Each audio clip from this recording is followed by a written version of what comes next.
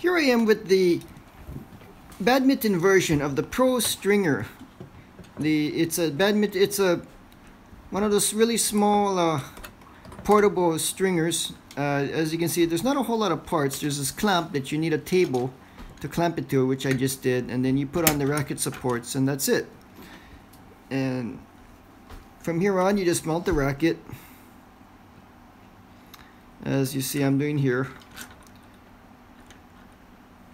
Mount the racket, adjust it, uh, gotta get it just right. And the only other piece is the tension head uh, to the right of the screen, as you can see. Amazingly, it's very simple. And it is portable. I'll give it that. it, it is portable. And But you will need uh, an electric outlet. So, of course, it's electronic. So you have to be able to find some place to plug it in. So if you're traveling going international, you have to make sure that you have the proper uh, converters. You know, every country, they, they have different different shapes for their their sockets in, in the wall and all that. So you have to make sure that you have the proper size or shape that fits. And here I am getting the racket ready to be strung. You know, I was watching the instructional video and they tended to to thread the strings before you pull it. I, I, I never really like doing this. Every time I string badminton rackets, I just do it kind of like a tennis racket where I pull one string at a time before I thread it. And that's why, as you can see, it's taking me a little while, bit of practice for me to get used to this. But here I am. I, I just pulled the first string and the tension head needs to be up against, directly against the frame of the racket for it to work properly. So here it is.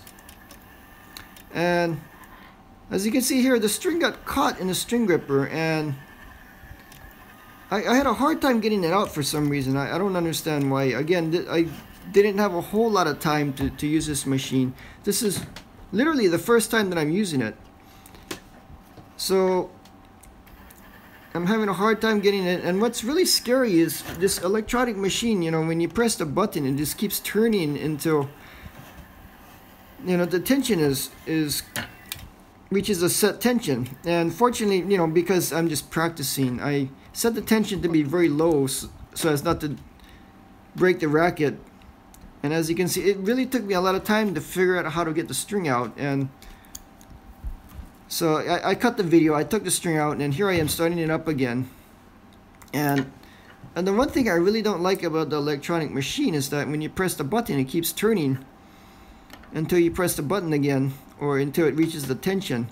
So if you're stringing at high tension and the string gets caught or for some reason or another you don't want it to finish the full pull you got to be really quick to press that button otherwise it's going to keep pulling and that's how you can break a racket. I've broken rackets before on electronic stringing machines because of this. Um, either the the mounts weren't set properly or something was a little bit out of line and I, I hit the tension mechanism and it would just keep pulling and pulling until something broke which is either the frame of the racket or the string. So you got to be really careful with this and here, as you can see, the, the guide to the string is to the right of the tension head. So you really cannot push the mains at the throat of the racket like this. See, I'm trying to figure out the best way to do it, and you really cannot do it. So what you have to do is you have to see, do what I'm doing, and you have to thread the strings um, twice so that you can pull it at the top, the head of the racket. That's really the only way you can do it. And personally, I don't like it.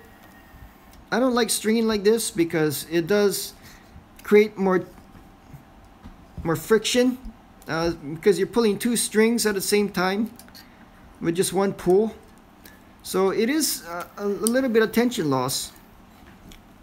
And ideally you'd want to pull each string one by one, but you really can't with this machine, which is in my opinion, one of the, the worst parts about it. You can actually pull it on this side, on the left side, because as you can see the string guide is to the right of the machine so it actually fits more or less okay here so you can pull it one at a time on the left side but you can't do it on the right side which of course I don't recommend this because it means the tension to the left side of the racket will be a little bit tighter to the right side because you're pulling one at a time on the left side but you can only pull two at a time on the right side. But just for demonstration purposes I'm stringing it this way. And again I've set the tension really low like around 12 13 pounds to uh, just to try this out and make sure I don't break a racket or something. But that's pretty much how you string a badminton racket with this machine is so under normal circumstances I don't recommend doing this. I recommend pulling two strings at the same time on both the right and the left just to maintain balance. As I'm doing here pull here and as you can see, as I, as I press on the strings, I'm trying to get as much uh, tension, wasted tension out of the system. And at least this machine, it does have constant tension pull. It is uh, pulling the entire time. So if you can work out the tension loss from the inside of the strings to the outside, then the machine will, the tension head will pick up the slack for you. So that is one good thing about this machine. But again, here, it, here I am on the right side trying to figure out the best way to pull. But it just it just doesn't fit up very well. Um, this is the best I can do. It just it just wouldn't work. So again, I'm stringing two strings so that I can pull at the top.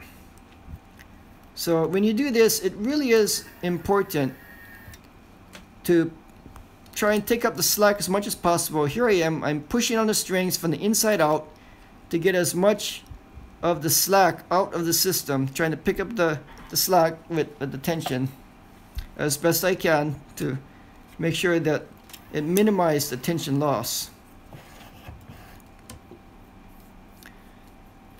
And you can only do this with a machine like this or a drop weight machine or a, a very good uh, uh, electronic or maybe like a Stringway MS200 or ML140 uh, spring driven machine that, that will pull uh, constantly. Because it's very important because when you're pulling two strings at the same time at one time you know the the string you will have a lot of slack in the system. But here I am at least on the left side I'm pulling one string at a time. I can pull the mains at the throat and at the head. And that's what I'm doing here. So here I am and I think right around here or maybe not um, yeah it's just again it's just that doesn't work. Um, the, the throat of the racket the handle of the racket will, will just hit oh it, it does okay I, I remember yeah I'm maybe gonna pull it here.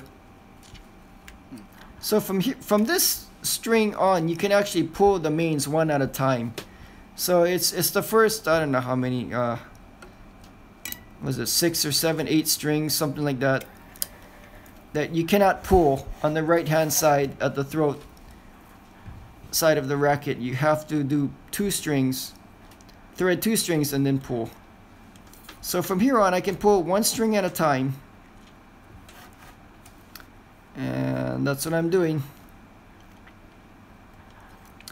and uh, by the way, I didn't have a whole lot of time to spend with this racket. I'm the the I don't even have enough length in my mains to finish this. I just wanted to pull a few strings just to see how the machine works.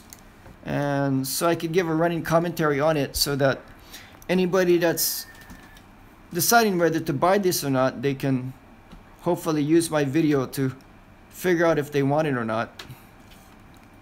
And as you can see, I'm, I'm coming towards the end of my string and the end of my video.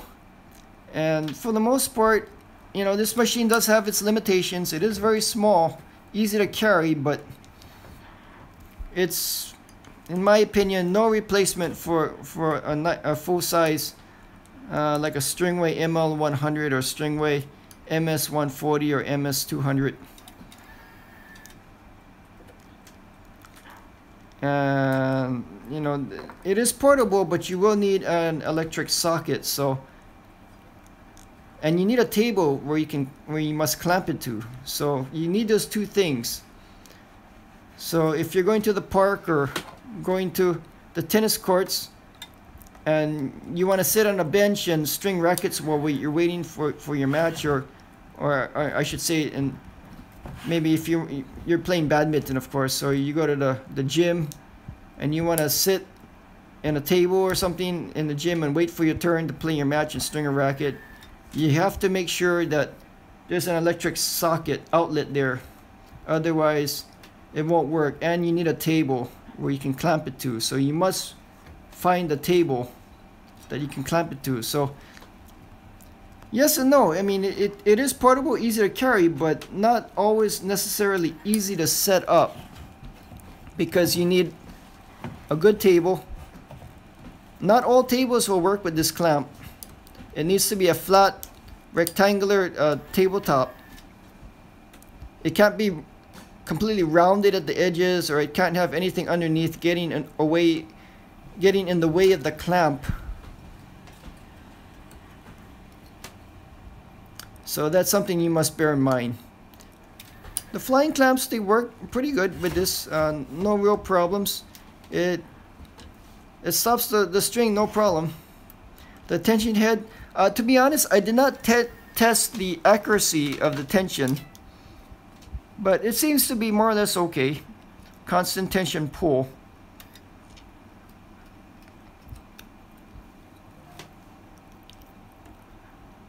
Uh, I, I don't know where you can buy this machine. It, it used to be sold in Japan. It's not sold here anymore, at least not currently. Maybe they don't have stock or not but the place that did, did sell it uh, just uh, stopped selling anymore. So this is the end of the video and thank you for watching